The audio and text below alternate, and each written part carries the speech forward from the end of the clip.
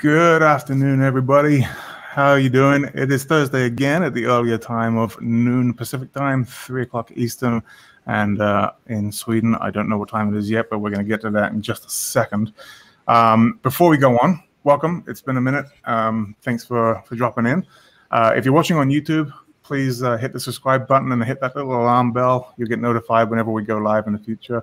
Uh, this is a, a, really cool thing we've been doing for about a year now, um, and it's uh, we, we have a lot of fun. We, we plan to continue this for the long term. So thanks for joining us. Now, let's get into things. Today's guest, I'm very excited about this one. Um, I want to welcome, let me bring him in real quick, Mr. Kristian Matsson.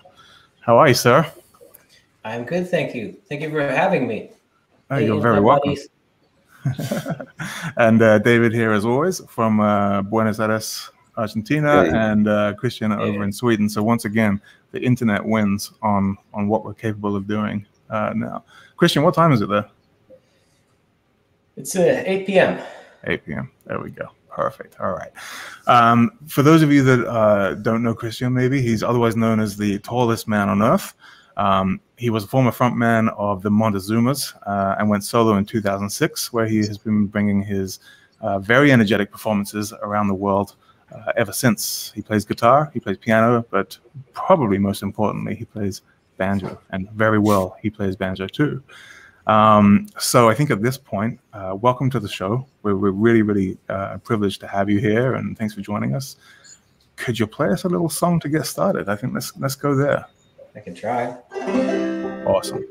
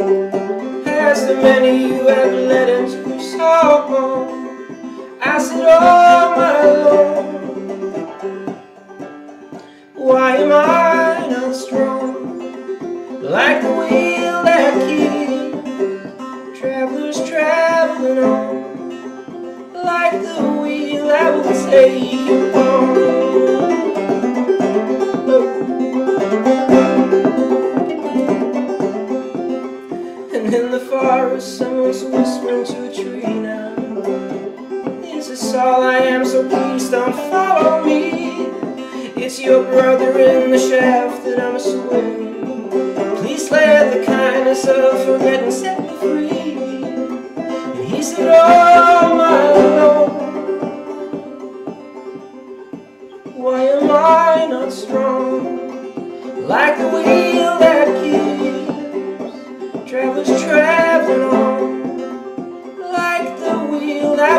sounds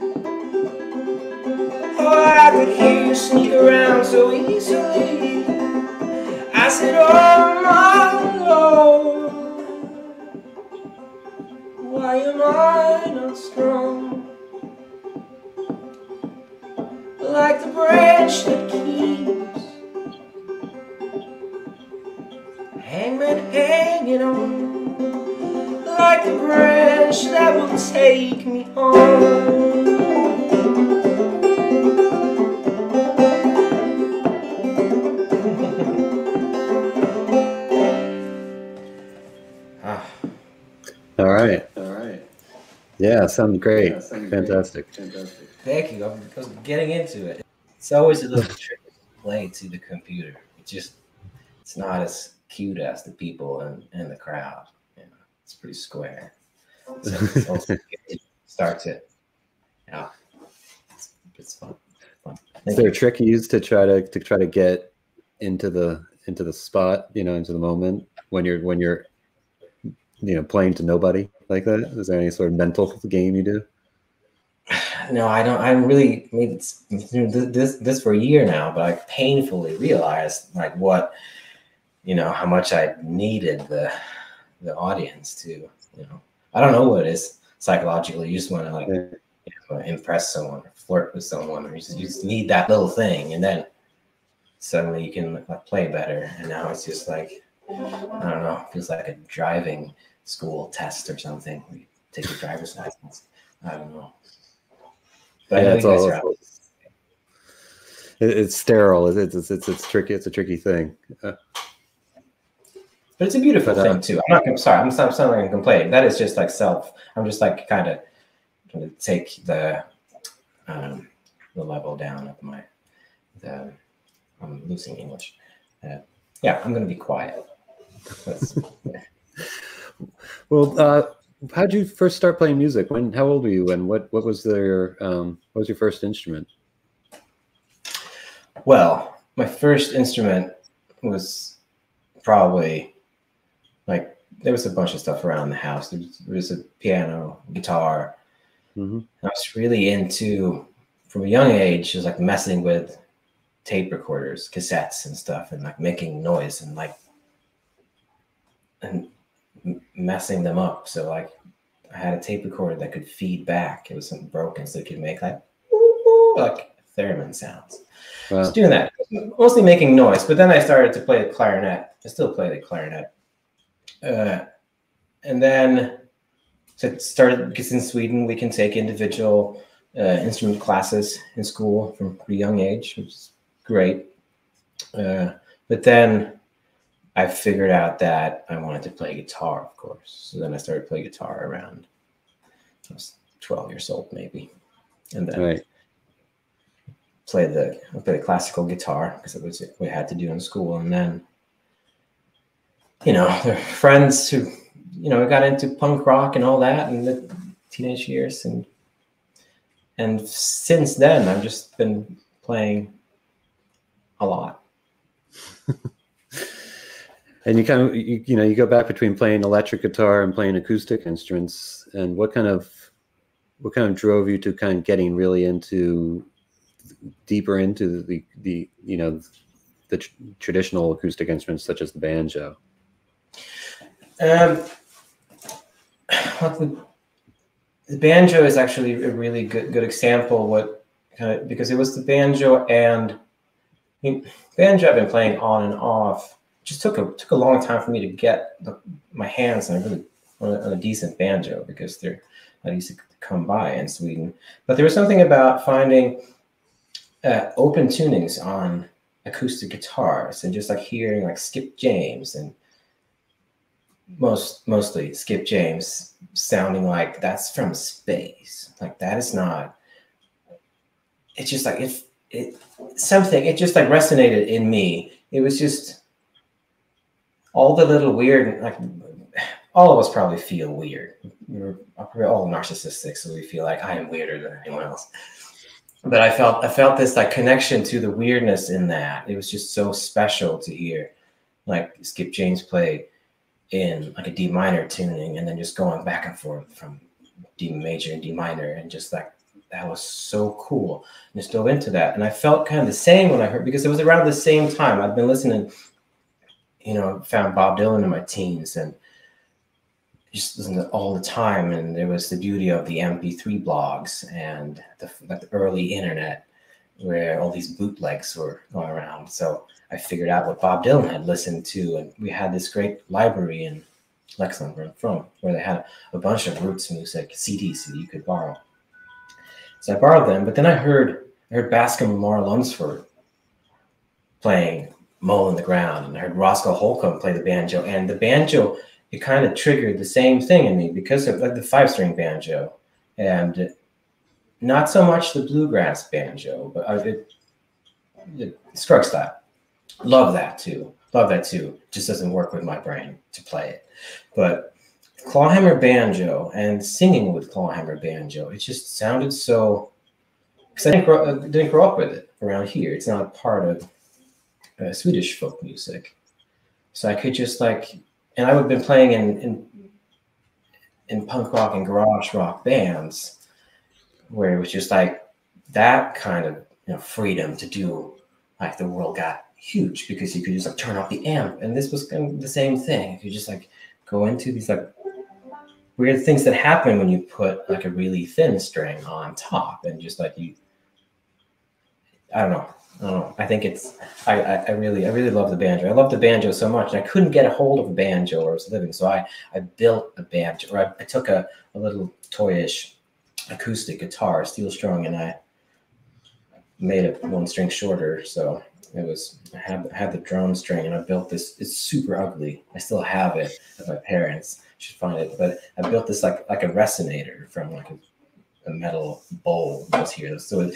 was basically like a do a dobro or a resonator guitar with a with a banjo neck. But it was great that because then I could get the you know this hand down, even though it sounded pretty crappy. But I learned a lot from that. And then I bought like a Chinese made like uh, resonator banjo. Took the resonator off, used it as a frisbee, and hurt myself on those flanges that were they were just like not they were really sharp, ruined a lot of sweaters, but I still have that here actually. Um, okay, going down nostalgia lane, but that's fantastic. That's I mean, you can tell you have you have a had a passion for for playing music. I mean, you, are building your own instrument and and and just trying to learn more and more and digging deeper and deeper, right? Yeah, it's just it was just, and also that I hadn't gr- grown up with uh, that kind of music. It was just like this world. I was like my very curious person. I could just dive into that universe, and I feel like I, I'm still doing that. So, how did you learn to play? Um, did you, you started straight on playing clawhammer when you're playing banjo styles, yeah. even yeah. on that homemade instrument. So how'd yeah. you how'd you learn? Did you have books or was it videos or things uh, online videos? Was it were they even that there? I mean, the YouTube was was, uh, was around not hundred years old, but YouTube was around. So there was, there was some, some, there's some videos and like there was like pretty bad quality rip where they ripped the like the Mike Seeger yeah. VHS cassettes, where he was like the old, what is that? Or DVD or VHS. The homespun tapes, yeah. Yeah, the home home, and you could go on the homespun tapes website and see. you could see like little. I didn't have a bunch of money, so I just couldn't like I didn't, didn't buy those DVDs, but you could see like a little trailer for the, the different instruction videos, and then you could like, oh, you can just watch that trailer over and over, and you just, at least you got like some something down. So I just watched some of that, and then I then I listened, and then but then I listened to so many because there were so it was so many. Th- I'm grateful that it was confusing to just. It was like, what's that guy's name? Buell Kazee is that his name? Um, played East Virginia. I just had all these MP3s and CDs that I was listening to, and everyone was just playing like clawhammer or uppicking or just made up stuff. So it was like what some people were in like Dock Dock Boggs. I love Dock Boggs because it was I had it was like no way to figure out how to play that because it was so strange. It was playing in D tunings, but not playing in D. So you had the the drone string be really uh, dissonant towards and yeah. So yeah, I, just, I, just, I just, try to, just try to stick to that, but I also am a person who I am not one to I, I start to learn something like learn how to play like Mike Seeger play that, but then I don't go all the way and learn it note by note, and it's going to sound like that in the end. Like halfway, I kind of stare off and I just try to write a song in that. And so I'm never going to become like a pro on any instrument because I, I do see it as you know it's there's songwriting tools and I I, start to, to play these like traditional songs, but then like it's really nice to throw in a fourth chord here and there, and then you know you can, can use the wrong, you can use like the more minor chords and like it from because I'm also I'm from Sweden, so we're just you know we dip down to tub of pop music with that, so it's kind of in our veins here. So we want to hear a verse and a chorus. So yeah.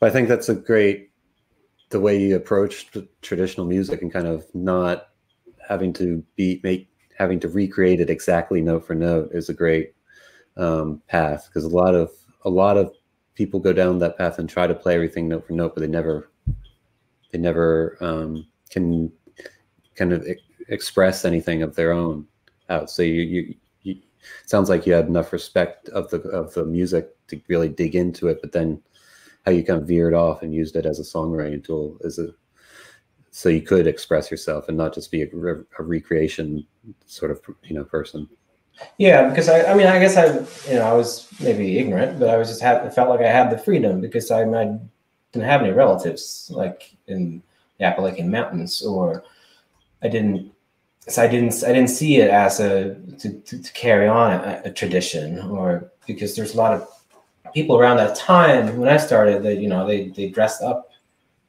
as like old time people, and and was very like. um uh, what's that word?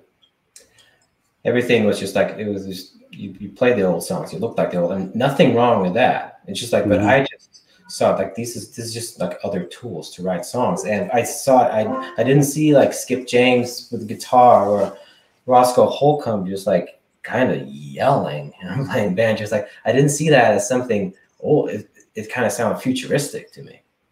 It's just like it's or just or just timeless in a in a crazy like oh there there are more crazy people out there so, what were some of the hurdles that you when you're learning banjo that you remember you kind of struggled with um, in your playing? And, and and kind of how'd you overcome them especially with limited you know access to a teacher an in-person teacher? Well, i think my playing you know has suffered from not having uh, good like, teachers and me cutting corners here and there because i do feel like my my left hand is not too great. I mean and there's just you know the people who can play like jigs and reels and stuff and there's great. I found that still i mean i find that on guitar too but i guess what everyone else struggles with in the beginning we're just to get the to get the right hand down but it's the same for me it's just been the same as on guitar. I'm not like i don't pick it up like that or in, in the beginning at least it's just like thousands of hours of repetitive training and just doing stuff like that. So to get like the the drop yeah the drop thumb or whatever it's just like it was Yeah. very hard in the beginning and now it's just kind of what i do all the time because i really love that. You can get get syncopation in there like from more modern music. I don't know i it was i don't know I, sorry it's not an answer to your question i just didn't a specific thing it was just hard it was just weird and hard in the beginning but i also i enjoyed that i i really enjoy like i still do that like with with guitar and banjo but i've been playing a lot of guitar lately where just like i get this idea in my head what i want to play or I hear something and I try to play it, and there's like, there's no way in hell I can. Sorry for cursing. Um, to pick that right now, but I know that if I just spend the time, that if I just, because it's just, it's just little muscles, and not so much to. I don't believe it's the brain that should learn it. Just that you need, you need to learn how to disconnect the brain to think, because not to, you know, go into that territory, but I think there's a lot of things we can do. We can do if we just like allow ourselves to do them. But I think it's, yeah. And did you practice a lot with with the metronome or or some sort of rhythmic, you know? No, I should. That's what that's what I'm doing now. I'm, I am very late in my career. I started to practice with a metronome because I'm maybe as you can hear now because I talk so much. but I'm also excited to talk to you guys. That I am rhythmically like in a band. I'm in the I'm I'm, I'm in the front seat. I'm not I'm not Mhm. not a good player or a drummer because I can't I can't hold back. I'm like that. So and with banjo, that's it's just really easy to play too fast. Something that I felt a lot of times playing live because of all the adrenaline in in, in the body. So things feel that they're they're they're good tempo. I feel like it sounds great. And then I hear recording, it just sounds like it's double tempo because you're like you're on another level. So no, I didn't practice with a metronome in the beginning, which I should have. Uh, but I think I just like with other instruments, you learn a couple of chords and then just playing them over and over while doing like different different patterns and just very boring and very annoying for uh, partners that I've had, girlfriends that I had in my life. And when did you start using your, you know, in the opening song, you're, you're, you know, uh, using your foot as as your metronome? Have you been doing that for a while? Um, Yeah, I mean, I, I guess I now I have. I've been living in these uh, Swedish clogs. But, I mean, They're really good for tapping. Right. Yes, I I, I I I use my I, I use my feet. Not so much live. I play uh, stages where it doesn't. I'm Right. I want to. I was trying just before the pandemic to, to play and to get back to playing smaller venues and do more nights because to get that intimacy and then you could probably actually hear the foot. On that opening piece, you uh, went up the neck some, you know, Yeah. but it didn't sound like you were. It didn't sound like as though you were playing really. Um, what kind of chord forms were you using on there? Were you just because it was- wasn't just a single note? It was, it was, it was but it Yeah, sounded like there was open strings in there. Yeah, I'm in the I'm in the double C tuning, so you have the you have to kind of do the bar chords like like that. But it, I just um, there's just like two two note. It's like instead of taking the full bar chord here for the for the for the sixth for the minor, I just do the the root root note and the top note. So it's not really. It's like both. It's it's it's the one and the sixth. if you want to be a little more like suggesting what it is, you could just add the. If you want to be like really explain it, you do the whole chord. But it's just kind of.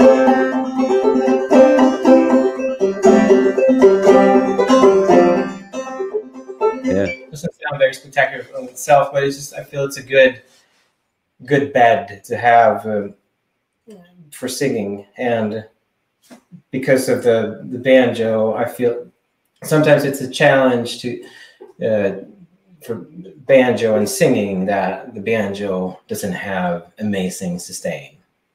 I mean, Mhm. it it has better sustain on days when I have you know you have to really have a good technique to to get good sustain out of a banjo. So to use some open strings here and there for me it's been really helpful. So it's still you're still like a, a bed under the under the voice. Yeah, if you because yeah, if you play a full, you know, closed position chord up the neck while Yeah. playing clawhammer it can get kind of it, it can you know you, you can get kind of choppy, you know, and uh, Yeah. um, there might be a place for it, but it's nice to have that open string so it sounds fluid throughout throughout the whole thing that you're doing. Um, as a middle, when you're when you're writing a song, or and because you you're a multi instrumentalist, um, how do you kind of decide in the end which instrument to use? Because I've seen you play sometimes play banjo on a specific song, sometimes play guitar on, the- on the same song. But is there when you kind of when it's being your kind of your going into a recording process, or or it's just going to be your main way you're going to perform the song when you're playing it live? Is there you just kind of let it kind of you just kind of feel it what it's feeling which instrument is kind of working for this song Yeah, I, I, I mean, I.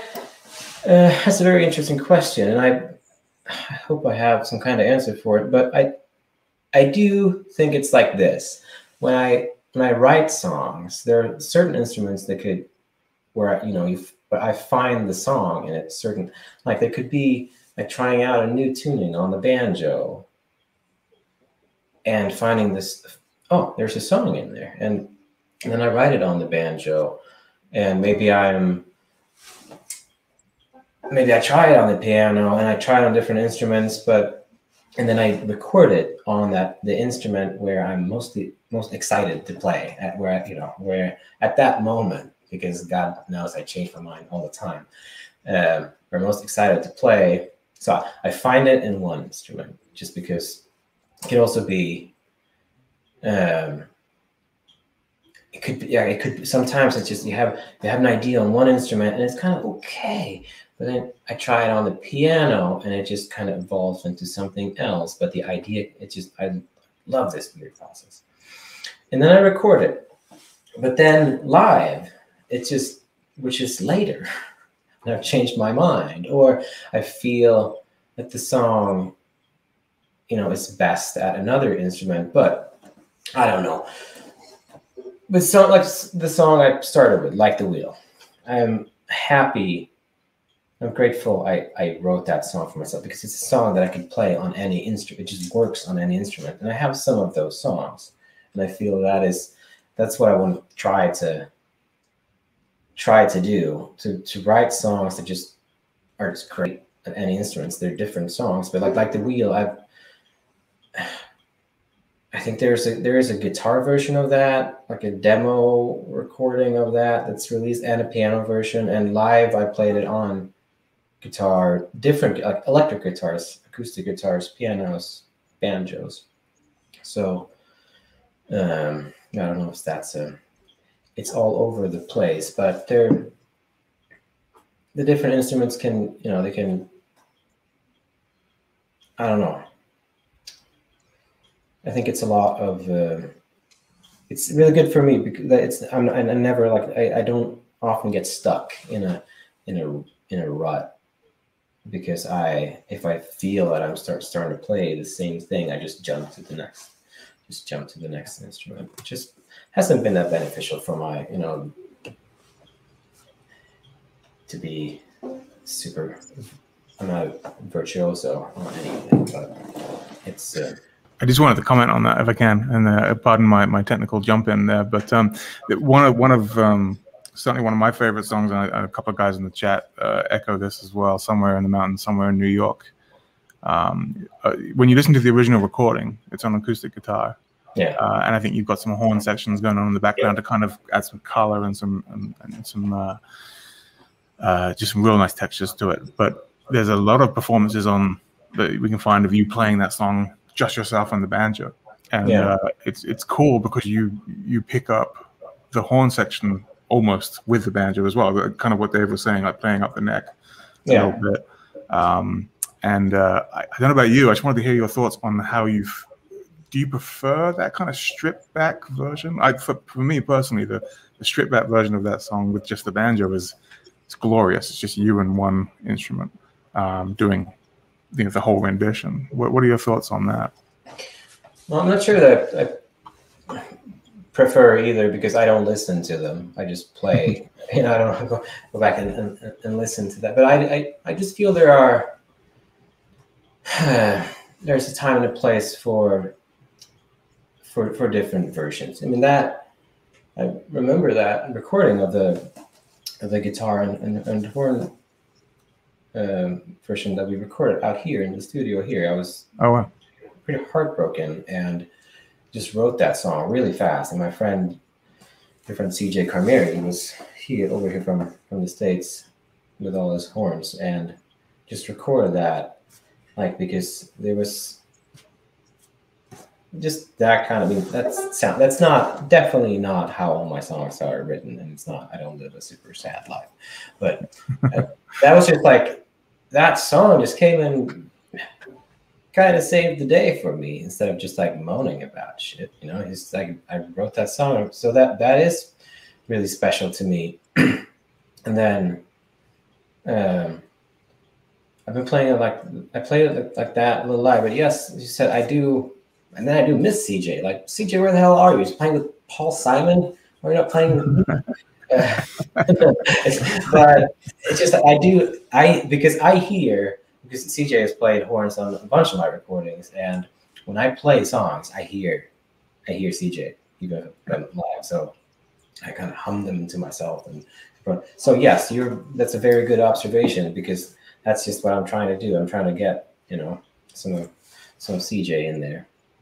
So, do you find the banjo helps you uh, achieve that more than any other instrument? Like being able to incorporate like the, the maybe some of those lead parts, but also keep the rhythm going at the same time. Is it is it better for you in that sense than maybe a guitar or, a, or another instrument? I think so too. Yeah, I mean the the electric guitar could you know could be a little like that once in a while because you can have like ambient effects on and you could have more sustained ringy things. But then with the banjo is pretty perfect because, as you said, rhythm. You have the rhythm going, and then you have this little guy who's just yeah. not shutting up, just being there and creating space. And then you can, yeah. So you like when you can, you can travel up the neck, and you can, you know, it's absolutely. yeah, it's that makes sense. Like and yeah. Awesome, Dave. Sorry to interrupt you. Carrying on. No, no, no keep keep keep coming in. Uh, yeah, when you, early in your career, because you as a multi instrumentist, talking about that, how did you decide what instrument to bring on the road with you? Because um, just traveling as myself, you know, sometimes I play different types of instruments, different types of banjos and guitar and stuff. And yeah. sometimes you can only bring one, really, really maybe two, and uh, um, but but on in your set, you're kind of thinking, oh, you, know in your ears or if you could do it perfectly you'd have all this different stuff going on well um, early i didn't have the I, I, I, I, didn't have the decision to make because i yes i was just traveling I was touring by myself in the right. beginning and i i could you know and with all the guitar tunings so I remember there was one european tour where i was just like i toured with a suitcase a rolly suitcase and two hardcase guitars that were strapped together Oh my God, I sound like an old man. Back in the day, I used to. But, no, but that was like and like running to trains and stuff. And then you fast forward to now, where you know my crew hates me because like, yeah, on this tour I actually need 14 instruments because. so now, I mean, it's just it, it, has turned into madness at some because I do to have the different options. I don't use all the 14, but maybe 11 at a show because of all the different tunings and all the different types of guitars and you know the banjo tunings. I know for myself when i switch instruments on a gig uh, or something with a different tuning it takes a second for my brain to click over. Sometimes i'll pick up and i'll you know I'll, to trick to get that look down and look at the strings and see this is this tuning.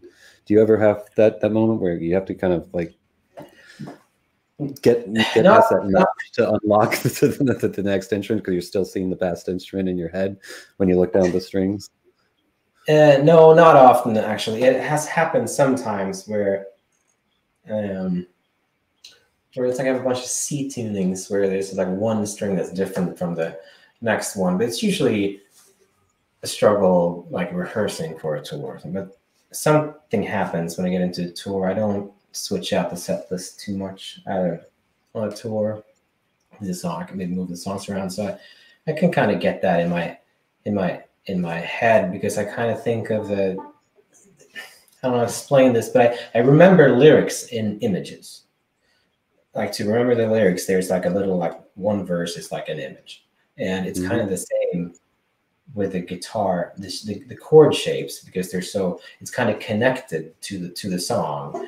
I don't have to look at it so much because I know it's like mm-hmm. that kind of triangle and that kind of, and it's just it's also in that imagery and there's colors and stuff and to remember that. But I've I mean I've had but I had moments on on stage where it's just brain just because that that happens with lyrics for sure. I have to ask yeah. the audience for lyrics sometimes, and it can happen with tunings where there's like one one string that's like the, the fourth and the and the first string are kind of when they're when they're switched kind of so the shapes are similar but yeah sorry and how many different tunings do you use on the banjo generally?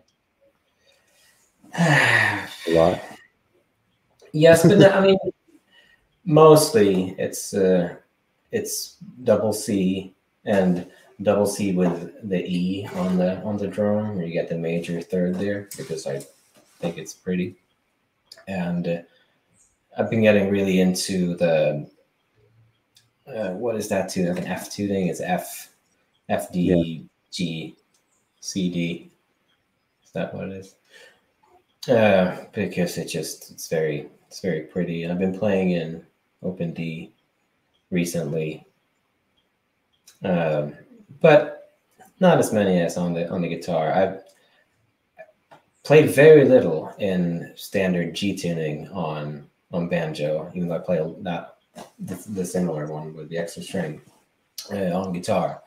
But I just recently, like a week, I was just playing that a lot, and it felt exotic, and I think I started to write some songs. So that's the for me. That's the that's the that's the, the fun part, the beauty of it. You can just find new stuff. And then I've seen you you play with a capo a lot, both on guitar and and banjo. And uh, Yeah. I did see in another interview that was you said it was because it was you used to move around on stage a lot, and you just like the shorter scale of the instrument. It wasn't because of a sing of a, a key that you sang in. Yeah, I talk a lot. That was maybe maybe a little exaggerated, a little bullshit, but not so much because like there is a thing with standing up and then being down here, and I mean the, the banjo is shorter, but like not a not, not a super big guy, so it's just like it's kind of uncomfortable for me. It's just like more comfortable to be here on on a Mhm. guitar, and also yeah, but mostly it's it's for um, for singing keys, which is sometimes problematic on on the banjo with you know with the drums. They have spikes in here that I had to try to modify to get because this banjo has been had nylon strings now for a while, so I had to get the spikes out to hold a nylon string. Is that a sound here? That's, that was me. I moved. Okay, okay. Just, there are mice in the kitchen, so I have to tell my cat to go there. But um, it's yeah, it's it's a little problematic on the on the banjo. You have it feels like I have a few. I can't just like slap a capo on up here because then also it's, Right. it's- Well, do you want to play another tune for us right now? yeah, I can do that. I can do that. Um, I kind of wanted to play just a um, the banjo song that got me into playing banjo. And I'm going to start with a little Swedish folk music as an intro because I did that last spring when lockdown started. It was before I moved home from the States. I think I was a little homesick, so I was playing fit, trying to play some folk music from here, but not super good at it. So I'm just gonna play a little of that, and then I'm gonna play an American song that I just like I had to find a banjo.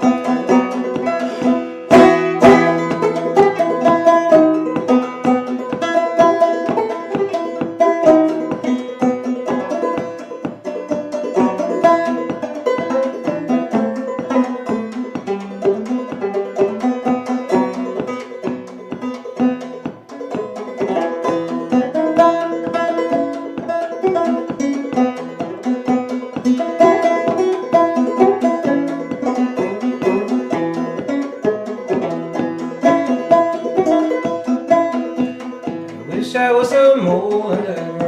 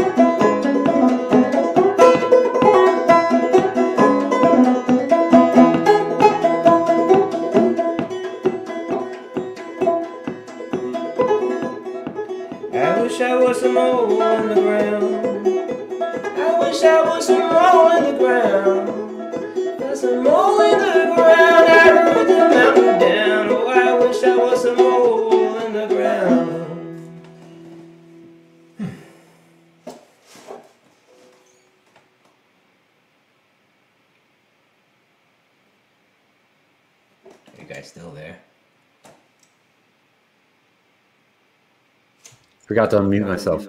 Ah. Um, when you're when you're uh, playing clawhammer, do you use your index finger or your middle finger? Middle finger. Okay. And then are those are those fake nails that you have? Or you've grown out your nails?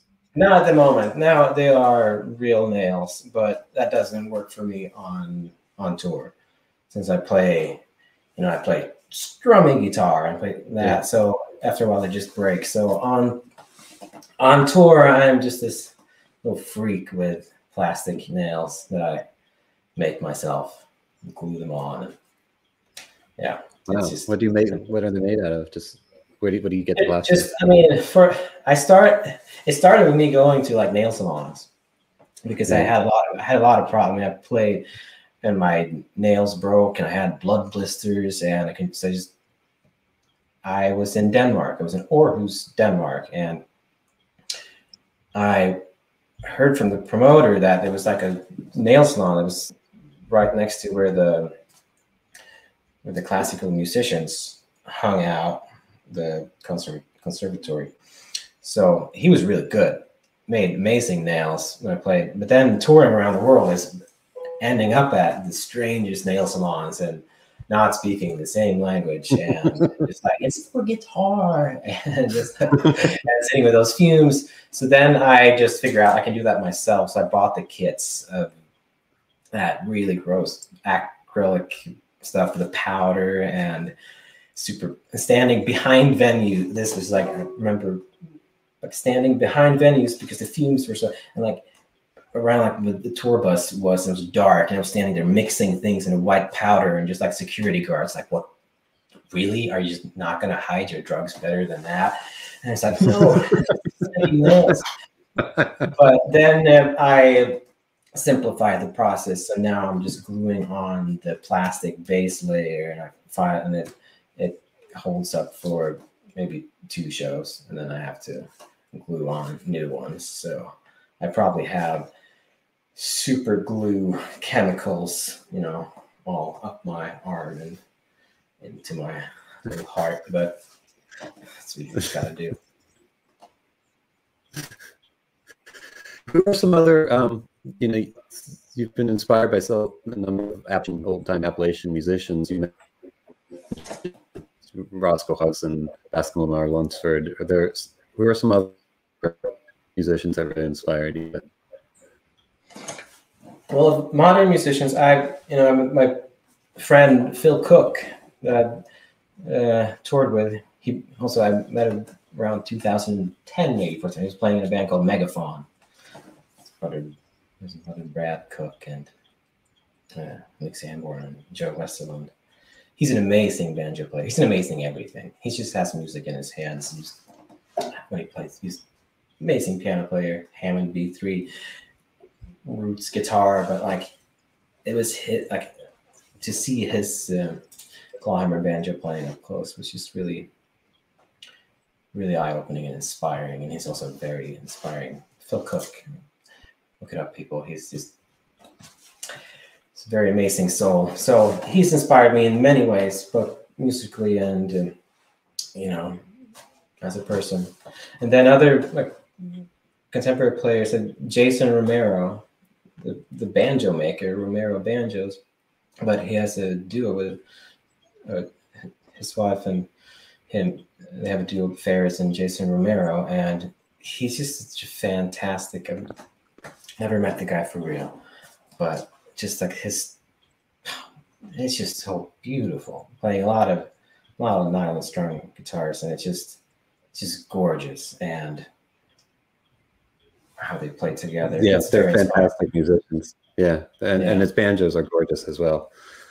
Yeah, I mean, I'm on the waiting list for one for. Can get it in ten years. Uh, so, but um, uh, but then I mean, those guys, you know, have toned for days, and they're they are pretty much the same age as I am, a little older, but.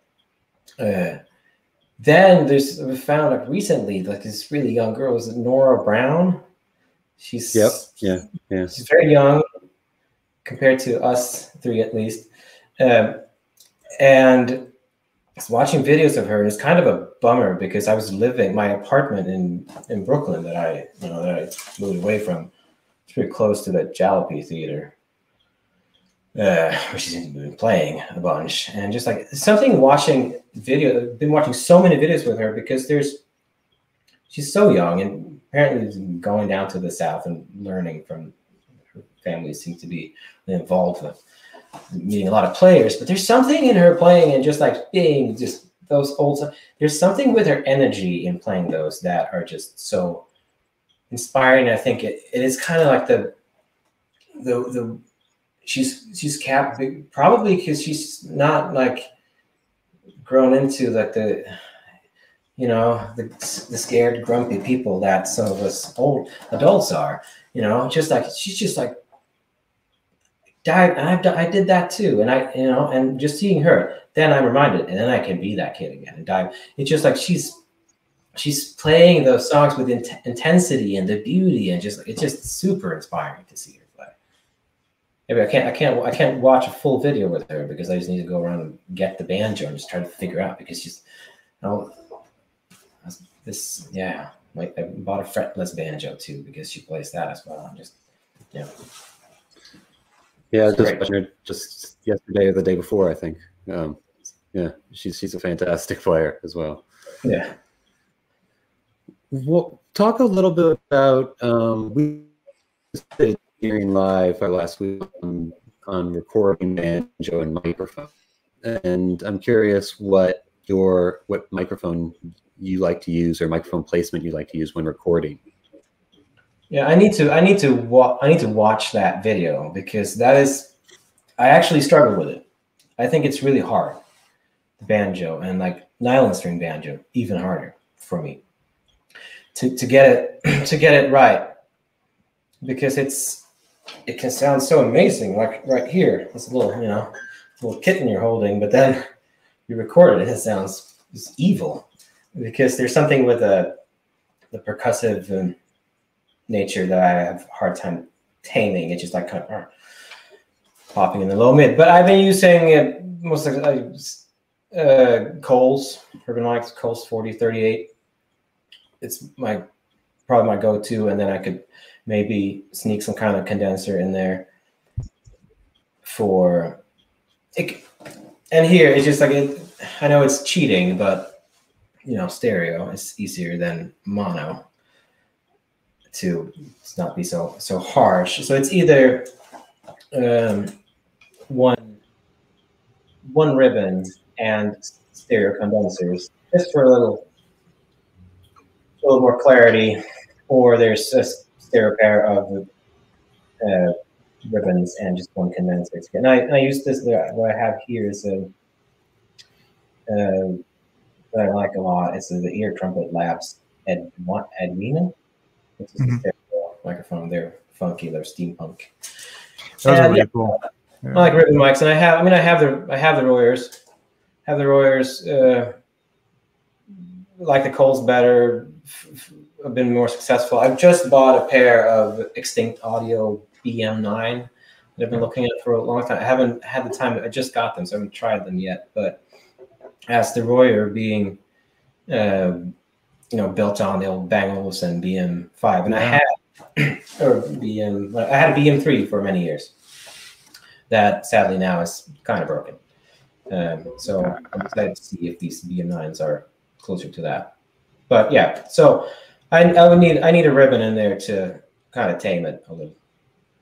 That's very cool. Yeah, we we I mean, you can watch the video. We we did a thing with Royer, so we we we really like those guys. But there's a, I mean, mics are like banjos, right? There's there's different mics for different different situations and different uh, um, applications, if you will. But uh, live as well. Like I've seen a bunch of videos of you. You appear to be plugged in uh, Yeah. with a cable. What is your what's your go-to kind of setup for, for live performances, either uh, you know solo or on stage Oh, on, a bigger band setting? Uh, We've been trying so many so many different things, but right now what we landed on right now it's we have the. Let's see if there's a little. Let's see if we can get you zoomed in a little bit. There There's, there's a little little cable there. There's the LR Baggs, the piezo bridge. That just going in through the there. Excuse me. Is that going through the head? Yeah, Okay. yeah. You know, you could you can change the head. I'm not precious about that. I even painted a bird on. Uh, yeah, it goes through the head. You, you can have it here, but you know, aesthetically, you know, uh, it doesn't really. It's just it's a tiny hole, so and it still sounds like a banjo. Yeah. Uh, so doing that because I've had a lot of like contact. I mean, I when I was just gonna start playing uh, banjo live more seriously, my amazing front of house. We were doing production rehearsals here, and it came with one of those DP, like amazing DPA uh, little gooseneck microphones. oh yeah, yeah. Yeah, and they sound amazing. It's the best sound, but I just kept on hitting it, and because I and just this really expensive microphone, just like getting it off the banjo. So then we started with like these contact microphones on the inside of the Yeah. Of the head, and so but you get up to the bigger stage, and his feedback in like I feel I feel sorry for my front of house that I, you know, solo, so, solo banjo on, on a on a big stage where I don't sit. I mean, if I just sat down and I could like mic it up, then it could work. But I am just like I want to run around and all that and treat it as like a. I want it to. It's a. It's tough, but he's but he's never complains. treat it as like a Oh, I went what's going on here? it's a somebody Oh wow. The live stream started on my phone. Okay. Alright. Um, Technology is always glory. EQing it a lot. And we've been trying different, like really f- fancy modeling uh, preamp pedals and stuff. And but I've been using a, a what are they called? The Grace Felix Helix. Yeah. Felix? Um, Phoenix. yes, I Phoenix. think, I think you're right. Yeah. Yeah. Yeah. Uh, that's been it's, it's been working working working well. Very cool. You you mentioned um, just now, you, you know, you're, you're hitting the mic sometimes. I wanted to, to kind of pick up on that a little bit because your, your performances are very lively. Would that be a fair statement? I Yes. think even, even watching uh, the NPR Tiny Desk concert that you did, it's probably the most energetic Tiny Desk concert I've ever seen. I think. But which um, one? The, the first one? Uh, I honestly don't know. I don't. I didn't pay attention. Was there horn, was there a horn player? It was just me. It was a home play. I think that was. um, Okay. Yeah. Yeah. So, uh, but you're just just moving around so much in that in that little setting. Is that uh, something that kind of comes naturally to you when you're when you get up on stage and you're feeding off that audience, and um, or is that something that kind of you're you're consciously trying to make a part of your performance? I mean, I, I do, I do feel it's it's coming maybe even too too much naturally. Uh, I wish I could. I'm trying to sit down at the shows now. A couple of No, you you can't. You gotta times keep during going. the set, but I'm kind of still dancing. I'm kind of like my dancing a little butt on the stool and doing things, but it's for the dynamic of the show. It's good if I sit down and just. But I I don't know. It's I've never felt comfortable just standing in the middle of the stage, like putting my heels down. I never put my heels down. I'm a, I'm a kind of a boxer. I'm on my toes when we're running around. Because if I put my heels down and like close my eyes, that's just kind of weirder to me because I don't feel. I don't know how to explain this, and I'm not sure how to say this without sounding pretentious, but it's. I don't feel it. It feels kind of a bummer if I get the feeling people are there to just like watch me, like like that. That is the the, the one way communication of just like I have something really special here. I was sad one day. I want you to hear it. Whereas I am there feeling that I this is like the life hack that I'm just so happy from that I could write sad songs and have like kind of happy triumphant shows together with people and we can laugh together and Yeah. we can because I I I haven't I haven't think I've gone through more breakups than like a lot of other people it's just kind of the, the same but since I'm a songwriter that's the easiest thing to write about then it just I have a lot of songs that are about that but then I know that there's so many people out here that doing the they're doing the same thing. So it's it's that to just like run around like how are you like and you get to do these things that you don't get to do in a normal setting. Look people in the eye. Like look and that's it's beautiful things. to get to look someone a stranger right into the eyes. And of course i you know, i take advantage of the situation you know? Of I- Yeah. and it could be uncomfortable for some people but i want to, i mean i need to run around and be there with people and up to them and kind of and then there's a a part of it is also uh, tactics for if they're if there's like a rowdiness or you need someone to be a little quiet you, then you can like run around a little more and then you can stop and be dead still to do the dramatic changes in your set and then Yeah. Yeah. Yeah. It's, you're, you're feeding the energy, right, from the crowd and kind of giving them. It's, it's more than just the music, it's the show, right? And, and Yeah, it sense that yes. that's part of your show, whether it's just you on a stool with a mic or whether it's you with a full band uh, at a festival. You know, it's it's a it's a very obvious part of what you do, and it and it comes out in the music. It's very cool. I really like it. Um, I was also curious. You, uh, I'm sure you've been asked this like a thousand times, so I don't want to hover on it. You, but you've obviously been, first uh, huh? yeah i'm sorry you've uh, you've been praised over the years for your kind of Dylan esque uh, style, your vocal style especially, and then you know I, I think we can all agree that undoubtedly like uh, he's one of your your influences. But when I saw you, I think it was on the Premier Guitar Rig Rundown uh, Yeah. video, uh, and you pulled out the white telly, and I Yeah. for, for some reason my head went straight to Jeff Buckley, okay and and I was like. I wonder how much Jeff Buckleyisms there are in, in his mind and in his music. Has that played a role in, in your kind of inspiration over the years? Uh, has he, should I say? Yes, but not major. I would say. Okay. I was. I was maybe. I, I was going through my Jeff Buckley phase. I was a little too young, or like I wasn't really. I don't know. I kind of didn't really stick to that. I mean, I do. Jeff Buckley's just- great, but it just popped Amazing. into my head, and I was like, "That's cool. That's an iconic look. White telly with a, you know, young guy we're playing. It, it's just a rad thing." yeah, it's also Mike, Mike Bloomfield and Dylan's band. So, yeah. What's your What's your favorite Dylan album? oh, that's a tough one. That's a I tough know. one. That's why I asked it. Yeah, I mean, I there's there's there's so many different ones, but I mean, Time Out of Mind was very important to me like when it came out. But then, you know, also Blood on the Tracks, the the New York sessions, the boot, like it's love that. I love New Morning as well. New Morning was cool. Love on the Tracks was mine. That was a Yeah. great album. yeah It's just it's it's it's so good, and I'm yeah.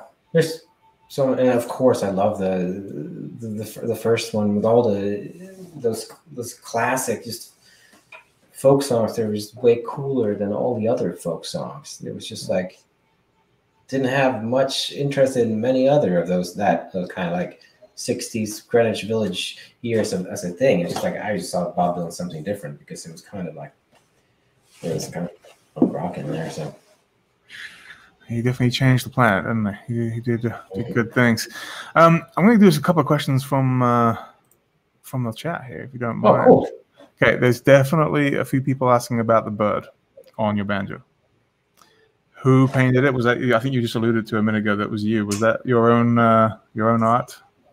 Yes, I'm a terrible, I'm a terrible painter, but that turned out pretty good. I was just, I was was when uh, I was in upstate New York where I was for the first eight weeks of the pandemic. So I just, you know, I like birds. I like birds, even though they're not real. And I have a bird here that this is Oh yeah, one of my friends made, and yeah, that's cool. This one, yeah, it's, I drew it with three different sharpies, four different sharpies: black, silver, and two kinds of gold. There you go. Yeah, we have we have a few artists that we work with that um, you know, they they paint or they draw, and we, we definitely encourage it for those that want to do a bit of bit of it's a perfect canvas, right? The banjo head for It some is. Uh, for some creativity and some self expression, if you will. Yeah, because you know you need to switch them out once in a while anyway, and you can if you fail, you can you can kind of switch it out. So, but you can't. It's that's, that's harder on the guitar. Yeah, absolutely. Uh, all right, let's see. Sam Weber asks, Sam, How do you think being a young clarinetist influenced your future ba- uh, banjo, guitar, and piano styles and arrangements versus having jumped straight into one of those instruments? It's a good question. That's a very good question. Um,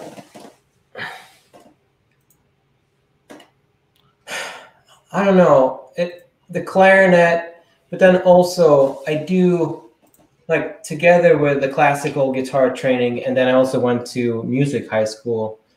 I do feel, even though like my songwriting and learning playing is kind of like wild and wacky and going to different tunings and stuff, I do, I am, I feel grateful that I had years of like learning some music theory, not to just like make rules from it, just like it's like with, um, maybe this doesn't apply so much to the clarinet, and I do wish that I, you know, stuck a little more to to, to, to play clarinet well because but anyway music th- like when i it's also in, in on banjo and open tunings on guitars to just know like chord analysis to know you know a one chord and a four chord and a fifth five chord because then when i'm just in a brand new tuning then it's just like oh this is a cool this is a cool five chord.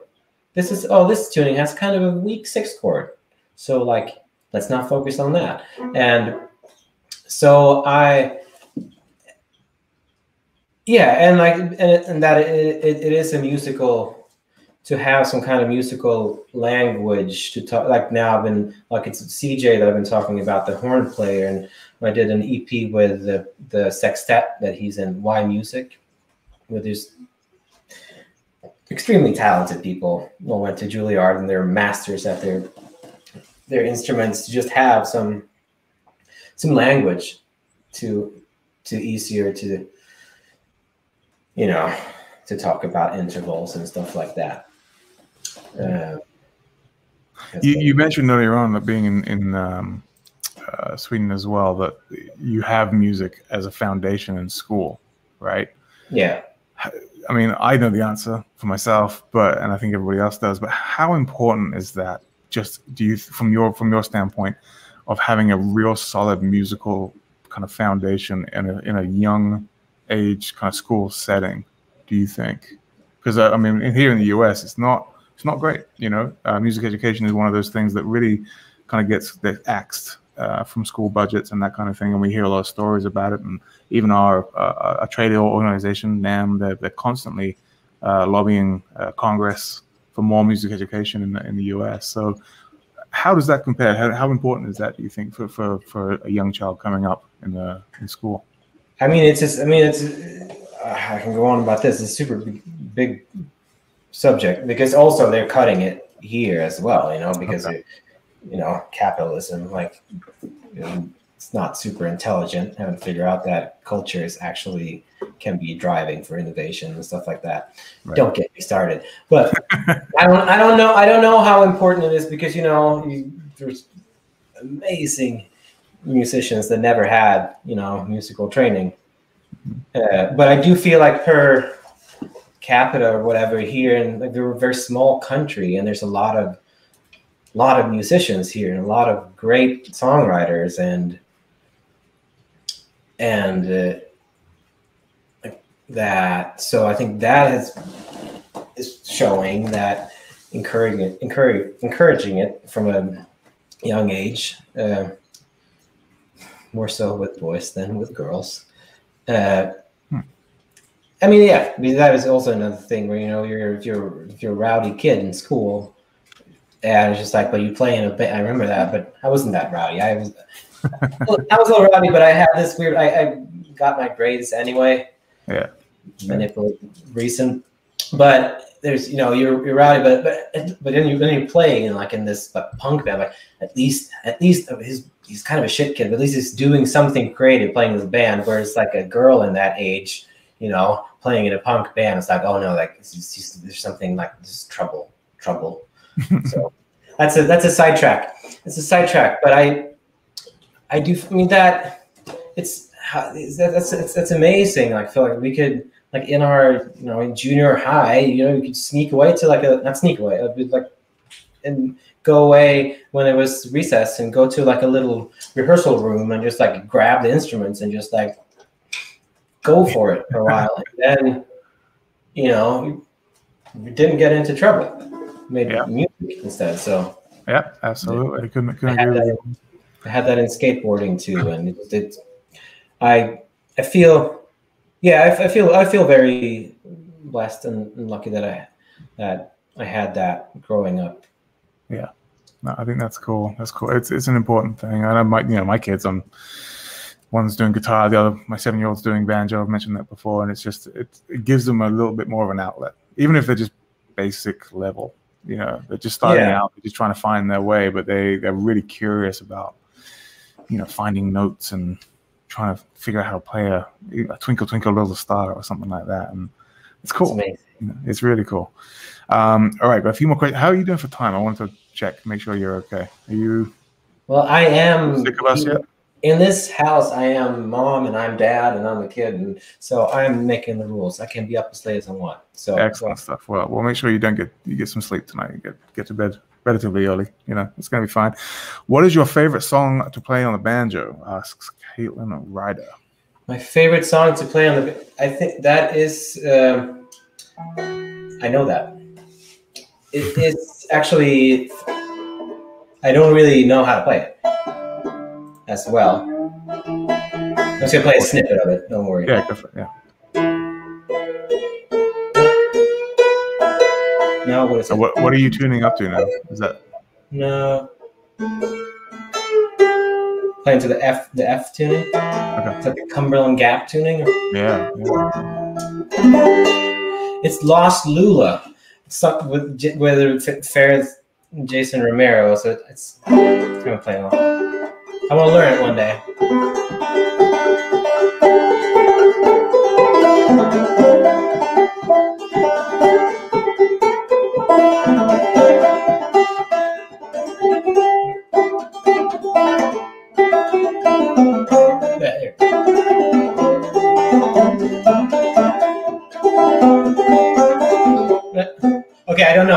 Was Lost Lula with Pharis and Jason Romero. It was That's pretty good. favorite. Yeah, Yeah, I, I, I used to play like a year ago. I tried to learn it, and now I'm gonna learn it proper one day. awesome, awesome. Uh, Livia asks, "How do you feel writing your lyrics in English? Does it come naturally? You seem to have a pretty good command of the English language, probably better than me, uh, and I am English. So, um, how does how does the lyric writing come about uh, for you uh, in in uh, not your native tongue? Yes, but it, it's, it's it's it's a really good and- and understandable question. Um, I think early on, and also like consuming so much, uh, like we start with English really early in school. We do. But then also we have the American sitcoms and you know British shows Yep. uh, on on TV. So really like in contact with it from early years. But then I was just like, I'm a daydreamer, and I just like I started to write songs and also like listening to mostly uh, music written and sung in in English that like if I write songs like daydream of playing on stages, I want to go to a bunch of places and go far. If I would sing in Swedish, I would play in Sweden, Norway, and Denmark maybe, and they would Yeah. they would they would get it. So that's the uh, that's why I started. That's not the how it feels to write in English. Uh, in the actually gotten a little it's gotten easier and harder. It's this is kind of the, the curse of learning a language more because I mean before moving home last year I was mostly living in America for the last five or six years Yeah. and touring there and in Australia and uh, in the UK and Europe since 2007.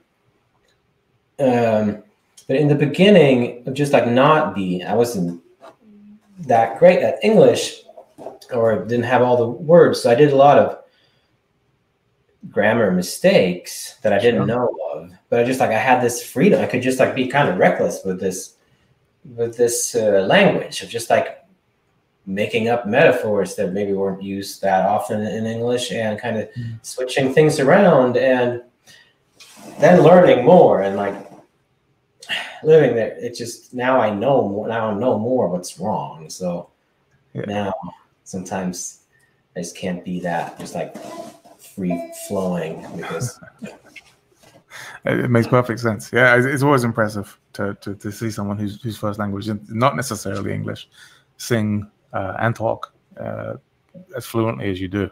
Like it's it's very good. So we thank you for that because you know, we would you know otherwise would maybe not have heard of uh, of the music as much. So it's awesome. Um, a couple more questions for you. They're, they're, they're heating up now in the in the chat. You can probably see. yeah. Uh, Jean Luc Lepage um, asks when you try writing a song, what comes to you first, the chords or the tuning? Uh, good question. It differs. Um, You like to noodle, right? Am I am I right in saying yeah, that? When, yeah. when I like, to. I, like to, I like to noodle, but like noodle songs, like noodle chord things. Like it's like I never like noodle like a Grateful Dead solo. I'm not a jam band guy. Um, I like to find, and that is, it kind of comes in the same, like, I don't know. Sometimes I can just, I can noodle around in, in a new, in a new tuning and, and find stuff, and that is just like making a song because you kind of, you can kind of, uh, it's that exploration, the cu- curiosity of finding a new world that is a new song. Yeah. That, that in, in a new tuning. But then sometimes I, from having been playing for a while, I know I'm playing in, in one tuning and like, no, I know the fourth chord is way cooler in that. So then, yeah, then it's the chords, and I have the chords down, and I know, but I know I'm not in the right. I don't have the right vibe down yet, and Yeah. the right vibe not might not be another tuning. It might be a piano or an accordion. There it is. Yeah. I love it. I love it. All right. Uh, from the north is asking, what are your preferences in terms of pot size and tone ring? Which we haven't really touched on the banjo too much. Um, No, uh, no. This this one is pretty straightforward. It's just a. Yep. You call that little? Is a regular. There's a Vega, uh, I think it's a Old Tyme Wonder with an 11 inch rim. It looks like Yeah. from here. Yeah. Yeah. I do tend to like 11s, uh, a little uh, better for for myself. It's just something about getting a little more clarity Yeah. in it, um, and um, I don't know what I prefer. I mean, in terms of tone rings, I haven't tried them all. I haven't tried them all. I have a I have a banjo with a Dobson in but that's in in America. I have a lot of things that are still in America because I had to leave the country pretty quick and like we're in a weird Yeah. way moving out in apartments. I have a lot of things in storage over there that I can't go back to. So um, I am not that much of an expert in different tone rings. No, It's but fair enough. Yeah. We, you, but you sound like you're still experimenting. It sounds like you're still trying to work your way through kind of different options and uh, different rim sizes and stuff to see to see what you like. And Yeah, but it's something I've been trying, like, and and trying different banjos. Somehow it always like lands on like that. The the the 11 inch feels a little easier for me to manage in terms of Mhm. clarity, and maybe it has something to do with like singing to Mhm. even though it would be, I appreciate some more bass once in a while, but Yeah, Yeah, absolutely. Very cool. Well, the the questions are coming in thick and fast now. Uh, so, are you, are you still good on time? it's it's only nine nine twenty, and I, All right. my We're going to keep going. We're going to answer as, Yeah. as many as we can. I'm going to make myself comfortable here. You ready? Yeah. All right. This is a good question. I like this one. Uh, Layla. I hope I'm pronouncing it right. Layla Darby. Uh, how often do you play or write songs outdoors in nature? Thank you for the beautiful music.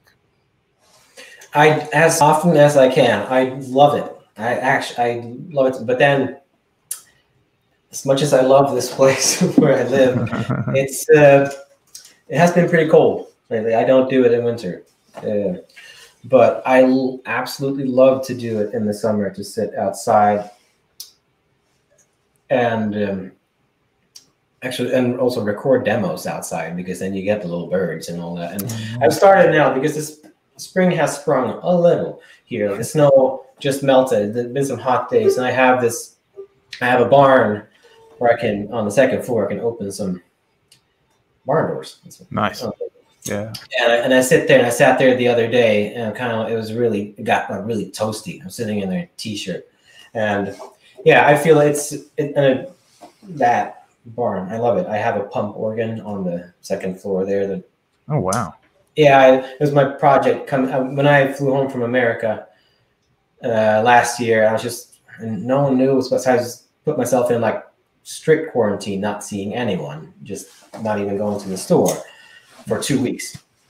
Uh, so, so I then took up the project of getting the pump organ to the second floor by myself Cool. because I really wanted it up there. It was really nice weather, so I picked it apart. I took it apart in small pieces and I built it together again on the second floor. And it's amazing. I can sit there in the summer and we're singing. I the neighbors' kids, like there's a there's a house, they're they're only they're they only have us a summer house, but one of their kids was scared of he he calls me playing the organ for ghost music. So Oh, wow. but it's, it's the question. I love it. Just it's the it's the it's the. I, I mean I, I I grew up thirty minutes from here, and it's to explain. It's just on the countryside. Kind of looks like Vermont in America, and there's a lot of the rivers and uh, evergreen trees, spruce trees, uh, mountains. So it was my playing playing field as a kid. So Oh, wow. is. Um, that it's it's it is very inspiring to me to sit outside and and uh, practice and you know i don't have a lot of body fat i'm just this weird little animal that's just kind of a cat i just find a, a sunny spot and i sit there and i just feel toasty and That's awesome. Yeah, nature's nature's a beautiful thing when it comes to music. I, I love it. Um, all right, so Marlene O'Keefe, Molly O'Keefe, I apologize. Um, let's see, who's someone you've loved working and performing with? Oh, oh it's just so many there's You- Yes, You've worked with a few people, huh? You, there's been a number of guys that you've kind of collaborated with, or you've been. I saw you on uh, Chris Thile. Um, oh my god That was cool. That looked Yeah. like you were having a lot of fun. I mean, that was just, I don't know. I, I love him, and we used to live in the same same neighborhood in, in, in Brooklyn, but haven't had time to, to play that much. I mean, he's super busy, and he's like Yeah. the wizard of music. But when I did that thing, the um, that show, he asked that I play that. We only rehearsed somewhere in the mountains, just a couple of. Maybe not, maybe not even a full run through, and then we started playing. He just shreds, and Yeah, he does. I, you know, I feel like a, you know, everyone has imposter syndrome feelings, but like with him, actually knows his way around. And I, like, but something happened with me. I just felt like Kristian, you just need to like step up, like two two steps higher than your best, like play it. And but I mean, probably because of him, it was kind of locked in and played, and that was that was amazing. And I I do, I mean, I have ideas. I mean, I'm working on new stuff, and I need to try to get Chris to play on some of that because that would be super cool to do something like that. But I love I love performing with others and like especially with singers and like yesterday I was playing this live streamed award show, and I got to sing with my dear friend Amanda Bergman, who I've also been briefly married to. Uh, but we're just great friends today. That is someone, and but we just there's something about when we sing together. It's just like our, our voices just kind of work, and then Yeah. the tour that started uh, just as the pandemic started. We did we did, did two shows in Chicago before the rest of the tour was. That was when I had Courtney Marie Andrews uh, Wow. opening up, and she sang a little with me, and that was magical. So Wow. I we And you, you've worked with some amazing people. I think it's, it's awesome. there's so, there's so many amazing people out there. So I mean, I I, uh, yeah, I at Newport Folk Festival two years ago, I got to sing uh, uh, Joni Mitchell playing play the banjo, play the banjo coming from the cold, and I was singing with the with the women in uh, Mountain Man the band. And that Wow. was, just, that was back in 1957. We used and oh, that was great. I miss them so much. I'm gonna I'm gonna get on an airplane to North Carolina as soon as they let me. Absolutely. Yeah, we, we just kind of we started getting word just the last couple of days. There's, there's some festivals that we typically attend uh, that are planning to go ahead later this year. So it's all I don't know. Things seem to be kind of warming up a little bit, and and I know I have I have some stuff some stuff in in the fall that they're just saying is gonna happen, but I having gone through a year of so many like hypothesis planning and what Yeah. might happen, I'm just like I'm too scared to have any hopes. But not, I mean, I'm, I'm, I'm it's it's it's gonna happen, but I'm just scared. okay. There's a vaccine shortage in here. Like I just need to get my vaccine then. And like it's just like, but I, yeah. as soon as they're they back up and running. It's it's gonna happen. It's gonna happen. it's happen. gonna happen. Uh. it's gonna be. It's gonna be. I mean, amazing. Just to be like, yes, festivals, but like to be, to be near people, to I laugh together, to laugh Yeah. together. Be- Going back on stage for the for the first time uh, after this, you know, when things start to come back, I wonder if it will compare to you know those those first times. You know, as musicians, I've done it. Uh, You obviously do it a lot more than I did, but getting up on stage for the first time, you get those those big butterflies. And I wonder if that that feeling will come back because that's you can't really beat that. That's kind of the cool part of just getting up on stage and you know, your nerves are going crazy and you're trying to just be excited and everything. I wonder if that's going to be the same vibe after not that- playing for a year. I think it is because I actually had. I mean, I had a taste of it because in uh, September last year, Mhm. where you know we thought that the pandemic had gone on for a long time, but the numbers around this area was really low. So we were allowed to have uh, gatherings of 50 people to do Oh, shows. 50 people. So had these shows in a barn for 50 people, three nights. And uh, no one got sick, thank God. Uh, it was just, per- but then, and uh, Amanda Bergman and Klara Söderberg from uh, band First Aid Kit. Yep.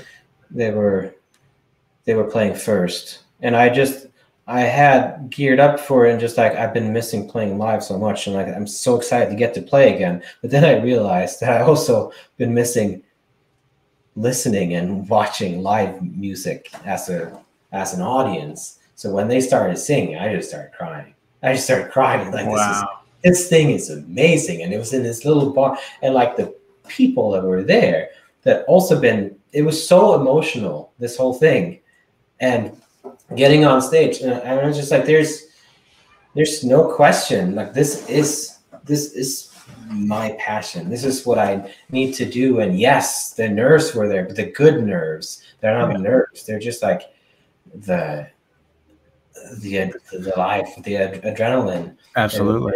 Yeah. playing playing too fast, uh, talking too much in between songs, and forgetting lyrics and all of that. And it just felt great. And it felt to me, it feels like a lot of a lot of vanities. Even though I don't think I've been like don't ask my crew, but that I've been much of a princess or a, a diva. But there are like there are like some I feel now there is vanity of just like I don't want to play that uh, like choosing between venues. I don't play that because that one is not as you know not as good as that one, and like I can't tour longer than three and a half, which is that is uh, where I can't like I need some days off here and there, which you do, but there's some Yeah. stuff that were just like, oh, I was just comfortable because like I am give me a give me a pizzeria, give me a pizza place, and I play there. Absolutely. I feel right now. That's awesome. I'm excited to have live music back. Um, I'm going to do a couple more here for you. Um, Yeah. All right. So Daniel Weiser asks, uh, Yeah. both your YouTube series were such beautiful projects. Do you do you see yourself doing similar projects again? Please, can you do similar projects again? Apparently, that was a popular one. Yeah, no, I thank you, thank you, Daniel. They were very, very, very fun to to to do. Also, very, very time consuming, and being a you know curious nerd, as I I wanted to like do all that, and I took like a little break from. It was a year where I didn't where I didn't tour. So that's when I started doing them. And I'm like, how can I like do other things? And I didn't know much about video making. So I just did all of it and editing and all that. And it was just so much work. So it's kind of nice to take a to take a break from it. I'm gonna do I'm gonna do something similar, I- but I just started to do. I'm gonna, I actually that's where I have very talented friends and Yeah. dear friend Rolf Nylinde that I've done some stuff with now. We did actually did a documentary about um, those shows in the barn, Little Red Barn Show. It Oh, up for, for, for a while last um, winter. We had like a you could buy tickets to see it, but now we soon we're gonna try to get it out into the world again. He, Right. He's just super funny and talented, and so to collaborate with. I'm think I'm going to do that for a while to collaborate with him on. We did a, we did a short one that's up on YouTube a couple weeks ago when he came here and, and vi- to visit. It's pretty wacky, but it's uh, it's fun. It has some snowboarding in it, but I also Awesome. have me playing a full song, and you can hear me play pedal steel and drums, and uh-huh. uh, What what was that called again? It's just it's on my YouTube channel. It's called something like uh, "Tallest Man on Earth Has Cabin Fever." Oh yeah, yeah, yeah. I, I saw that. I didn't watch it yet, but uh, I did see that Yeah. pop up on my on my So Yeah. if you if, was, it, was it Daniel, I think. Uh. Uh, Dan, yeah. yeah, Daniel. you can watch that. See if you see if you like that, and it's like little stuff like that. I'm gonna do for a little while, but if you think that sucks, just tell me, and I'll you know I could. It's gonna be because I do. I do feel it's it's it's, it's a good thing to, to reach a lot of people like around the world where I can't travel, but after like to be honest, this last year of just I love this. This is great. This is actually probably the best live interview, most Ah. fun I've, I've, I've done. Um, where it just this this format is fun because I get to talk about Dan just Yeah. But uh, I am just like really like what we we were just talking about, just like to get out there and just to actually see people and to play and to try to go to those places where I haven't been and and do that. So when the world opens up again, I'm going to focus on that too for a while. But When, when you come over to the U.S. again, and uh, Yes. you make it down to Southern California, we, we will welcome you with open arms. So, to oh, come, should I uh, play it? And now I have to be true to my word. Uh, Playing anywhere. Should I play the? Is that still around the Casbah? Is that, is that wasn't? Casbah, um, I, I'm pretty sure they closed, but I don't think it was before. I could be wrong. I don't want to. I don't want to misspeak. No, I I think I remember that remember they that. It was like as long as people who don't know that was a rock club in Yeah, in San Diego. many times. And I played a couple of times, and you could hear the the airplanes. They were coming in. He was like on stage and like. Well, it's downtown San Diego, and if you stand outside on the corner of the Casbah, as most bands tend to do before before their showtime, and I've done it many times, they come right over, super super Yeah. low, right over that corner, so you Yeah. can look up. Kind of like in Wayne's World, you know that movie where they're like Yeah. looking on the car, it's going over the plane. yeah, it's terrifying, but uh, it's it's um, it doesn't you can't hear it inside, which is great. yeah. Um, right. Go ahead. So yeah. Um, one thing I wanted to kind of I know she, she's written a couple of times, and this is a, probably a good place to kind of kind of end. I thought this was great. Um, Grace Lemberger, she wrote this quite early on in the chat, and I wanted to save it till last because I thought it was um, it was really nice. But she wrote, not a question.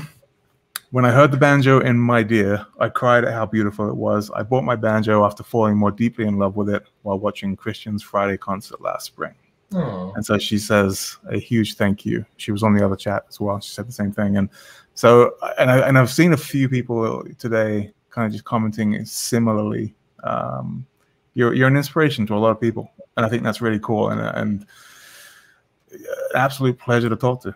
So yeah, but I wouldn't be much of an if it, if it weren't for for you and for all these people in the chat. It would be like the Zen thing, like you hear hear a what is it?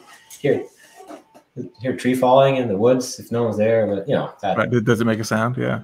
Yeah, it doesn't make a sound like what my songs are. They're they're nothing. They're that that there, Grace. It's just like it's kind of the the fuel. Maybe I mean I mean I am that. Maybe it should be more romantic than that, but that's the simple animal I am. But I'm just like, you like that? Okay, I'll make another one. It's just like I'll it's, make another one. I love it. Well, listen, Kristian, it's been a it's been a real fun episode. Uh, um, Dave uh, Dave had a couple of technical issues, uh, so we, we had to drop out. But uh, thankfully, uh, he'll come back again next week. But um, hoping that you can play out with uh, with with a special song. Hopefully, yeah, you know where you That go. is for you. It's a heartbreaking song for you. Yeah, it was. I was there. I felt it. So, to everybody watching, thank you as always for tuning in. This was a great episode. It's going to be up almost immediately on YouTube for you guys to rewatch. Um, tune in uh, next Thursday, um, and we'll see you again soon. Kristian, thank you for joining us. Everybody, the tallest man on earth. Thank you so much for having me. Oh, you're so welcome. I'm gonna play. I'm just not gonna. I'm only gonna tune. But I can say this is just a little tip. Like with, I'm not gonna play my D here. I'll play another song, but I'm I'm the double C tuning, the C G C D. But this is usually G in that. But if I tune it down to an E, major, just stuff like that. Tune the drum string to something else because it can, you know can play the pretty much the same thing you did, but it kind of changes the mood of the whole thing, and you don't have to, you know. And here you, you get this. You don't get a G. Okay, I'm gonna shut up and play. Thanks for listening.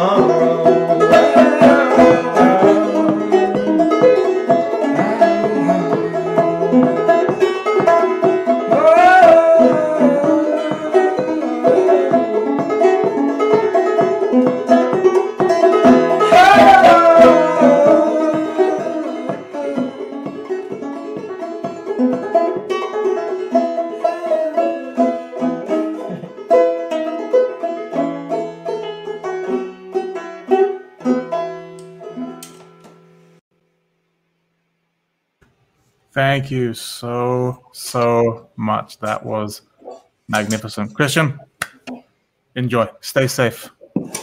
You too. Hope to see you in San Diego. Absolutely. Thank yeah. you guys. Be safe.